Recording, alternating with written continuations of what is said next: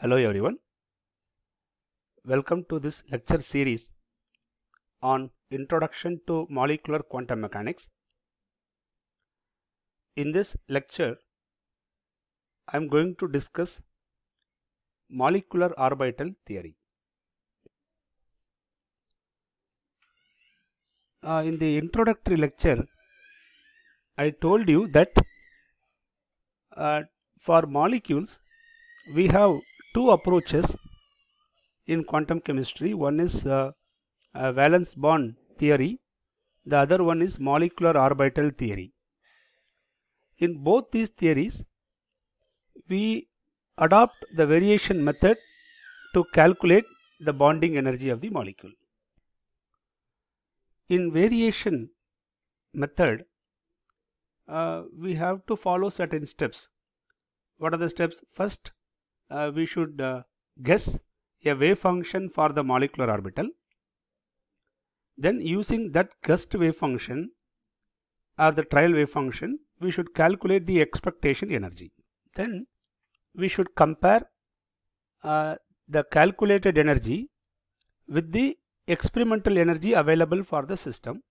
If the two values matches, if they are very close, then uh, the trial wave function can be considered as the uh, wave function for the system. Okay, uh, we cannot say that this this wave function should be the exact wave function for the system. We cannot say uh, this variation method will give you uh, a wave function which is much suitable for the system. In molecular orbital theory, uh, to find the trial wave function, we are going to adopt a method or an approximation called LCAO-MO approximation. What is the expansion? Linear combination of atomic orbitals which forms the molecular orbital. Okay, so what is meant by this? The molecular orbital function, okay, the wave function for the molecular orbital can be given as the linear combination of uh, atomic orbital functions. Right? You know very well, molecule is formed by atoms. Okay, so uh, atomic orbitals centered on one nucleus, whereas the molecular orbital is centered is uh, uh, is is actually distributed over the entire uh, nuclei of the molecule. So the molecular orbital wave function okay can be constructed using the atomic orbitals of the uh, constituent atoms present in the molecule. Okay. Each atomic orbital function is multiplied by some coefficients and then add with the other uh, atomic orbital functions in a similar manner. The ultimate goal of uh, uh, this molecular orbital theory is to find the coefficients. Okay. So, if you know the coefficients, then uh, you will be knowing the molecular orbital function. Okay. Now, the set of n atomic orbital basis function okay, is called the basis set. See how many atomic orbital functions that you are choosing to construct one molecular orbital function. Okay, the set of atomic orbital functions which we choose uh, to construct a molecular orbital function is called a basis set. Now, the next question that arises uh, in our mind is that how to find the atomic orbital function. Do we have atomic orbital function for all the atomic orbitals? Listen, right now we know only the atomic orbitals of hydrogen atom. We call them as hydrogenic orbitals. And uh, the suppose if you take 1s orbital of hydrogen atom and 1s orbital of some other atom, are the two orbitals have same wave function? Definitely not. So, uh, before constructing the molecular orbital function, it is very important to know about the atomic orbital function. Okay? Yeah, because we right, now we know only uh, atomic orbitals of hydrogen atom. Okay, but we cannot use uh, the atomic orbital of hydrogen atom for all other atoms. So, uh, to to to give a suitable atomic orbital function for uh, for a given atom, uh, scientist Slater he came with a beautiful idea called Slater type orbitals.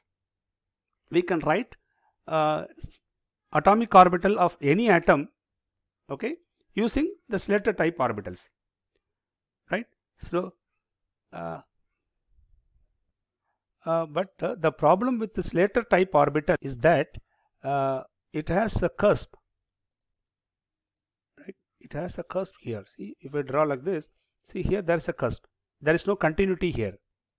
Okay so to avoid this problem uh, a group of students they came with another beautiful idea that instead of using this function if we use a Gaussian type function e power minus alpha square then we can uh, avoid this uh, cusp problem okay in the uh, atomic orbital functions.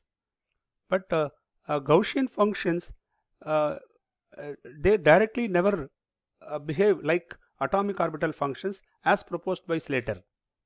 Okay? So what scientists did was uh, they took the linear combination of many Gaussian type functions okay uh, to form to behave or to form uh, one Slater type orbital function. Okay?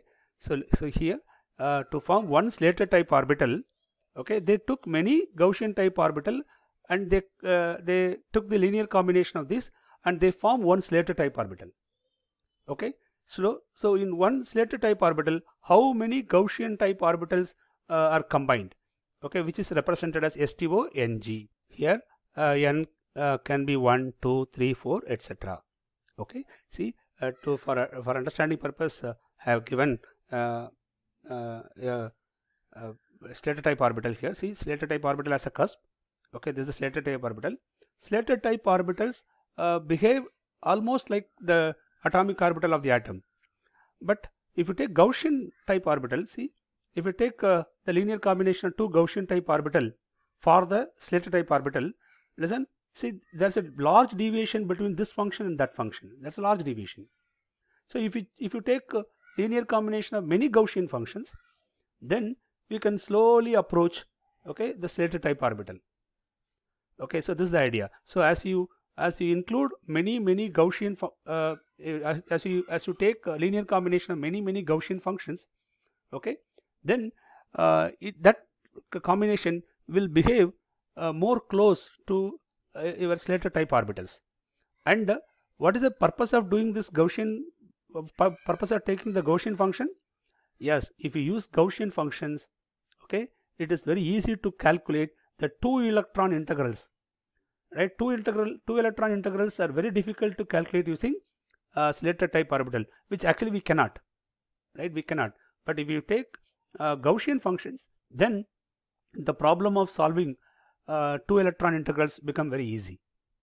Okay, and we listen if we choose these STONG functions, atomic orbital functions, to construct a molecular orbital function, then that set is called a minimal basis set. Apart from a minimal basis set, we have split valence basis set, we have polarized basis set we have many many number of basis sets right available uh, for the atomic orbital functions okay so uh, in in doing uh, molecular orbital calculation okay the choice of basis set is very very very important that plays a very important role okay uh, to get uh, energy uh, close to the experimental energy of the system this is the basic information about uh, linear combination of atomic orbitals. Okay. Now, uh, in uh, molecular orbital theory, we are going to discuss a few examples. The first example that I have chosen here is hydrogen molecular ion. Uh, because this is the simplest uh, molecular system available. Okay, uh, this molecular ion, hydrogen molecular ion consists of two nuclei and one electron. So, this uh, uh, hydrogen molecular ion uh, can be assumed like this. Suppose you take an hydrogen atom and uh, the proton, one proton. Okay, I will represent this as HA and H plus B. So, the, that one electron is present with atom A now and the second nuclei is free. So when the two are far away, when these two are far away, uh, we can write the trial wave function as phi 1s A because the electron is associated with the uh, nucleus A. In a similar manner, uh, we have uh, uh, another uh, possible situation like this. For this, we can write the trial wave function as phi 1s B. See, both these are equally possible, equally possible. Therefore, both these functions okay are equally contributing in the in the molecular orbital function of H2 plus ion. Okay. So, what we have to do? Take the linear combination of these two. So, the trial wave function for this system can be constructed okay, using the linear combination of atomic orbital as okay, the wave function for the molecular orbital is given as uh, multiply this function with some constant, some coefficient C1 and multiply this function with some coefficient C2 then take the uh, uh, then add these two you will get the molecular orbital function. Okay. Here this phi 1sa and phi 1sb uh, right uh, right now I have chosen these orbitals as hydrogenic orbitals. Okay. If you use hydrogenic orbitals right or also called as uh, the Slater type orbitals right uh, we call this as a minimal basis set. Okay. Then here since both these orbital function atomic orbital functions contribute equally right we can say that the c1 and c2 were right the squares of the coefficients the square of the coefficient c1 and the square of the coefficient c2 right must be equal right so the square of the coefficient c1 and the square of the coefficient c2 they two must be equal because these two functions they contribute equally if these two are equal then there are two possibilities exist one is C1 equal to plus C2, the other one is C1 equal to minus C2. Right. So now we have two situations. Therefore, this psi molecular uh, the molecular orbital can be written as one is uh, plus combination where uh, in the place of uh, C2 you, you put plus C1 in the other combination in the place of C2 you put minus C1. So take C1 as common so you will get C1 into Phi1SA plus Phi1SB and another one is C1 into Phi1 SA minus Phi1 SB. So, the linear combination of the two functions okay, gave uh, two molecular orbital functions. Okay. Uh, since these wave functions are, are functions of the molecule, right, then they must be normalized. Okay. So, by using the normalization condition, we can evaluate the optimal value for the uh, coefficient C1, right? Yes, how to do See here. So, the psi plus state or the psi plus function is normalized.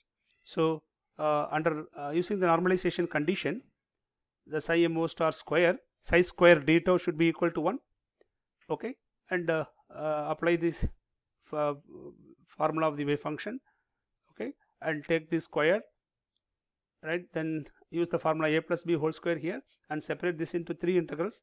The value of this integral is 1. Why? Because this is a normalized wave function of the hydrogen atomic orbital. Similarly, this is another normalized wave function. So, integral phi 1 s a square d tau is 1, phi 1 s b square d tau is also 1 into 2, uh, sorry, plus 2. See, in this integral, actually this is one electron integral, but present in two different orbitals. Okay one s a and one s b. So this uh, uh, integral is called overlap integral between the two uh, orbitals centered on nucleus a and nucleus b okay? So the overlap integral is represented as s. Okay? So this uh, integral is the, the value of this integral uh, is taken as s. Okay? Equal to 1 and for for uh, for in further simplification we can find the value of C1 as 1 by uh, square root of 2 into 1 plus S. Listen, in VB method, uh, we uh, found that the C1 coefficient is 1 by uh, square root of 2 into 1 plus S square. Okay, whereas uh, in uh, hydrogen molecular ion, okay, the coefficient C1 is 1 by square root of 2 into 1 plus S. Right? Now, therefore, the psi plus state can be therefore uh, the psi plus molecular orbital function okay can be given as 1 by square root of 2 into 1 plus s into phi 1s a plus phi 1s b. So this is the molecular orbital function for the psi plus state and for the psi minus state uh, in a similar manner we can derive but here I have given the result directly we will get 1 by square root of 2 into 1 minus s into phi 1s a minus phi 1s b. This is the psi minus state. So linear combination of the two atomic orbital functions results in two molecular orbital function one is psi plus the other one is psi minus. Okay? Now we got the uh, optimal value of uh, uh, uh the coefficient. Okay? Now we can calculate the uh, expectation energy or the average energy directly for these states. First we'll do we'll calculate what is the average energy corresponds to psi plus state of the molecule. Okay. Now. So uh, before uh, going to calculate the average energy uh, first I'll introduce uh, the uh, method to write Hamiltonian operator electronic Hamiltonian operator for the hydrogen molecular ion. Okay? So hydrogen molecular ion has two nuclei. I'll represent the nuclei as A and B and the distance between the two nuclei uh, is represented as capital R. And this is the electron. The distance between the electron and the nucleus A is given as Ra and the distance between the electron and the nucleus B is given as Rb. Okay? See under the uh, Born Oppenheimer approximation the electronic Hamiltonian operator can be given as kinetic energy of the electron and the uh, nuclear uh, sorry, and the potential energy interaction between the electron and nucleus A, electron and nucleus B and the nucleus nucleus repulsion. Okay. So, we have two attractive potential energies and one uh, repulsive potential energies. Okay. Now, uh, now how to calculate the average energy corresponds to uh, the psi plus state of the uh, uh, molecular orbital. Okay. Now, uh, so the expectation energy formula is this. I have given the integral in a bracket notation psi mo uh, uh, the uh, electronic Hamiltonian, operator psi mo. Now, uh, in the place of psi mo, I'll, I'll use the wave function that is 1 by square root of 2 into 1 plus s psi phi 1 s a plus phi 1 s b. So, if I substitute here and here, okay, uh, we will get 1 by square root of 2 into 1 plus s here and 1 by square root of 2 into 1 plus s here. Since they are constants, okay, you just take it out and multiply. If you multiply, you will get 1 by 2 into 1 plus s. Now, in the place of psi mo plus, I will put the function phi 1 s a plus phi 1 s b and similarly here also phi 1 s a plus phi 1 s b. Okay, now I am going to separate this into four integrals okay how see phi 1 s a h e phi 1 s a form a separate integral then phi 1 s a h e phi 1 s b will give a separate integral then phi 1 s b h e phi 1 s a will form another integral. Then phi 1 s b h e uh, phi 1 s b forms another integral. So uh, uh, by multiplying and separating these you will get four integrals actually. Okay? Yeah. So these bracket notations indicate uh, uh, integrals right for uh, each of these terms. And uh, I represent this term this integral as HAA AA so HAA and this integral as HAB and this integral as HBA and this one is HBB okay this is HBB now okay then. Uh, see 1 by root of 1 by 2 into 1 plus s into so these are the uh, four integrals right? HAA, HAB, HBA, HBB. Now uh, by uh, if you uh, see these two integrals okay they look almost similar. So by symmetry uh, the values of these two integrals that is HAA and HBB must be equal. And the value of the integral HAB and HBA okay also also must be equal. Okay? So we need not find uh, the values of all the four integrals. You just calculate the value of the integral HAA and h a b. Okay? Then uh, the other integrals can be automatically known. Okay then. How to find the value of the integral h a a? Yeah, in bracket notation this integral is given as phi 1 s a uh, electronic Hamiltonian operator and phi 1 s a. Okay so if I write this in integrate integral form uh, this phi 1 s a this is actually bra operator of phi 1 s a. Bra of phi 1 s a is nothing but taking complex conjugate okay actually we should put phi 1 s a star here. But uh, for 1s orbital 1s orbital does not contain any uh, imaginary part. Therefore uh, we need the uh, the putting star here it doesn't serve any purpose. So i'll put phi 1 s a directly. Okay? Then the hamiltonian operator electronic hamiltonian operator is given here. And the ket operator of phi 1 s a. Ket operator means uh, it is nothing but doing nothing so uh, keep the operator as such uh, function as such okay? Into d tau. Listen d tau is the uh, electronic coordinate actually right? So uh, so this is the integral. Now i am going to separate this integral as listen keep this phi 1 sa as such okay? Then uh, take this minus h cross square 2 mu del square as such. Then i'll multiply this with the 1 by ra term. So if i multiply here i'll get minus e square by 4 pi epsilon naught into 1 by ra then take phi 1 sa as such into d tau and this forms one integral. And the second integral is here is an integral. Uh, if I multiply this with this I'll get minus e square by 4 pi epsilon naught into phi 1 sa phi 1 sa if I multiply I'll get phi 1 sa square by rb into d tau. Then the third integral okay minus into minus is plus so plus e square by 4 pi epsilon naught okay uh, into that 1 by r okay integral phi 1 sa into phi 1 sa is phi 1 sa square into d tau see here this capital r is the uh, internuclear distance right? It, uh, it it does not contain since this d tau uh, has ele only electronic coordinate okay so uh, this r become a constant in this case.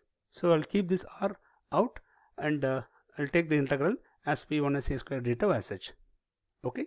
Now uh, the value of this integral is 1 okay? Because the normalized function right? And here uh, this Hamiltonian operator is similar to uh, Hamiltonian operator of hydrogen atom. Okay? So if I apply this Hamiltonian operator to the function phi 1 sa okay I will get uh, the energy of the hydrogen atom A right? Or simply energy of the hydrogen atom uh, into the same function phi 1 sa again.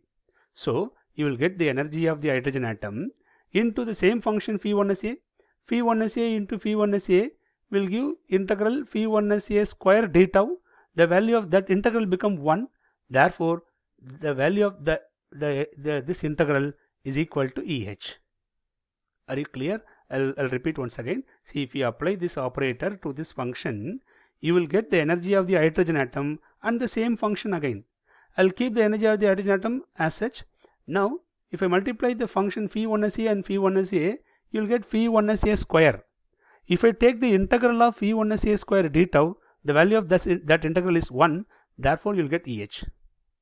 Okay, then uh, see this integral. What is this integral uh, uh, tells? Listen, uh, phi 1 a square is nothing but the electron density of the electron in the 1s orbital okay associated with nucleus A uh, divided by uh, the distance between the electron and the nucleus B.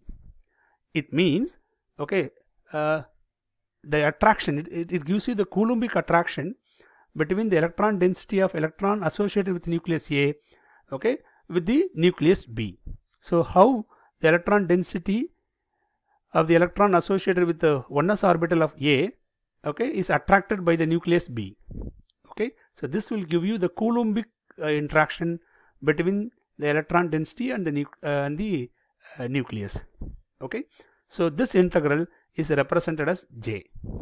It is called Coulombic integral. Then e square by 4 pi epsilon naught, I will keep that term as such and the value of this is 1. So the value of the integral HAA is EH plus J plus E square by 4 pi epsilon naught into 1 by R. remember this EH here is nothing but ground state energy of the hydrogen atom. That is when electron is present in the 1s orbital of hydrogen atom, okay, uh, that energy, uh, what's the energy we'll get? That is nothing but EH. Okay, then. Then how to calculate the integral HAB? HAB is this, right? Uh, bra of phi 1s A, H operator and uh, ket of phi 1s B. So this is equal to the integral phi 1s A and this is the electronic Hamiltonian operator into phi 1s B d tau.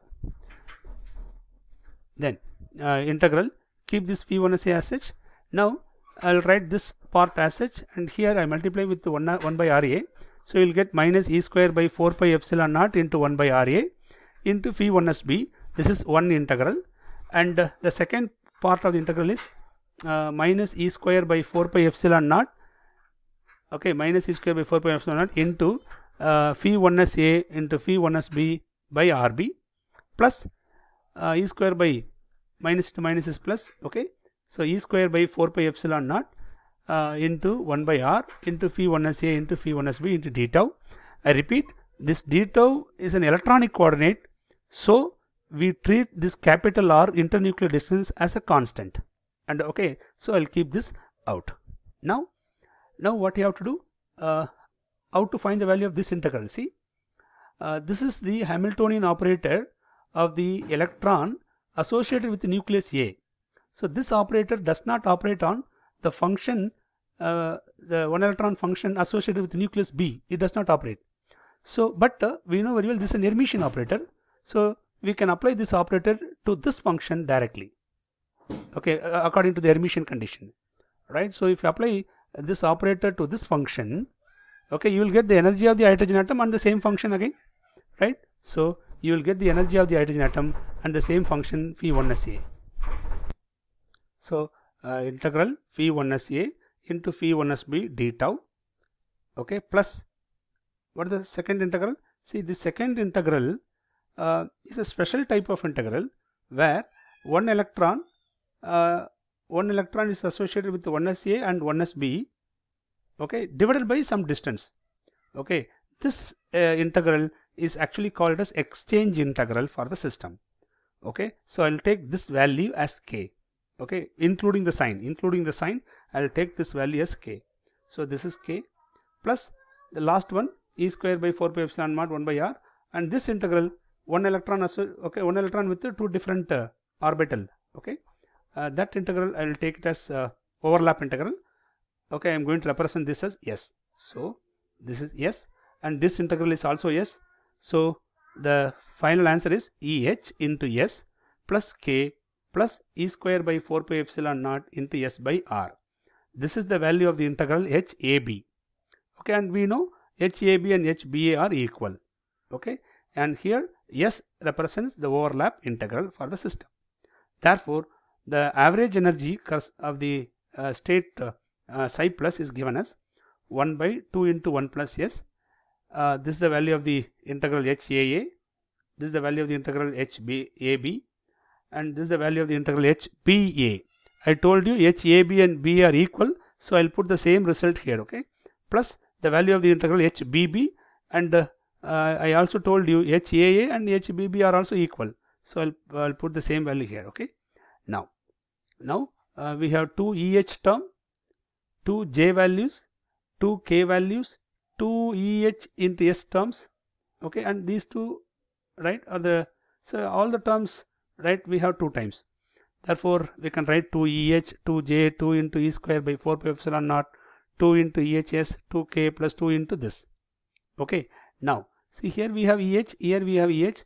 I'll take 2 EH as common. So 2 EH into 1 plus S plus 2J, okay, plus 2J plus 2K plus and I have uh, this term 2 times, right? So I'll take 2 into E square by 4 pi epsilon naught R as common.